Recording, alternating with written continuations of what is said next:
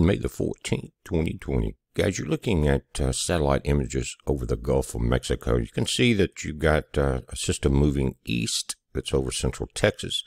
And we've got this tropical system now in the Straits of Florida right there.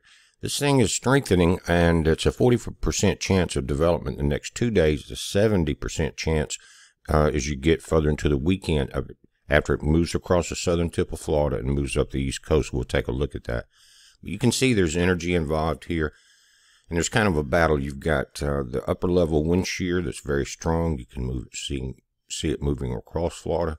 You've got the disturbance down near the surface here.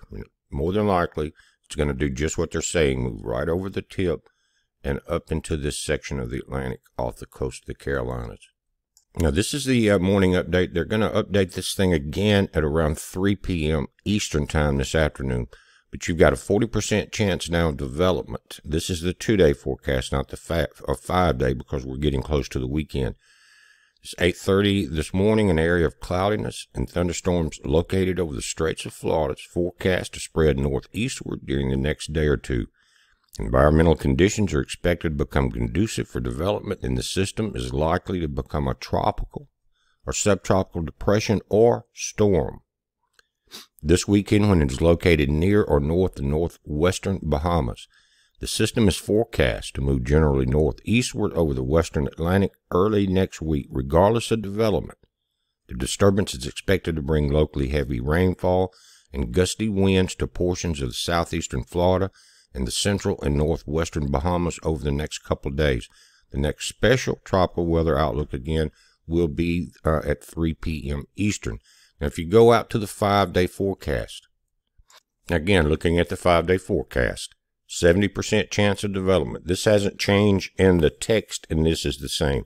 You, over the next few days, are watching for 70% chance of a tropical storm or subtropical storm. And as we looked at it uh, on the models yesterday, and we'll do that, just be aware you've got two systems that are going to skirt the uh, eastern coast of the U.S. Now, as we let this Navy model, the same one we looked at in the video last night, as we let it move forward, by the 18th, the storm has moved up and it's off the North Carolina coast, right on the very edges. We'll go through this right about there. You got uh, May 19th. We back it up, you'll see the impacts have started by the 18th, right there. That's the 18th. Storm has wrapped up a lot stronger than it is now. We don't know how uh, large it will get. No one has said yet, but the models are predicting that you're going to have a pretty good wind field right in that area by the 18th. So as we go through this, there's a 19th, moves out westward and actually takes a dip back south in the last couple of frames of this model. Notice that loop, we'll let it play through. Right there. Move out and then a kind of a dip back south. We'll just have to watch it. The models change every day. Now let's switch to the CDC or CMC, excuse me, the Canadian model, and you'll see that the storm follows the same basic path until it gets up off the coast of North Carolina. That's your high pressure pressure system. Here's the storm moving.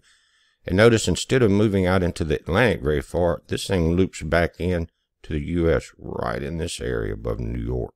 Check that out. So the models are going to change, but it could be a very wet weekend up until Monday or Tuesday or so for the East Coast guys. We're watching it and keep an eye on the uh, update this afternoon. We're going to watch it through. So, guys, just stay tuned to our YouTube channel, and we post these over on our website at bpearthwatch.com also. We're watching it. It's a heads up. Be safe.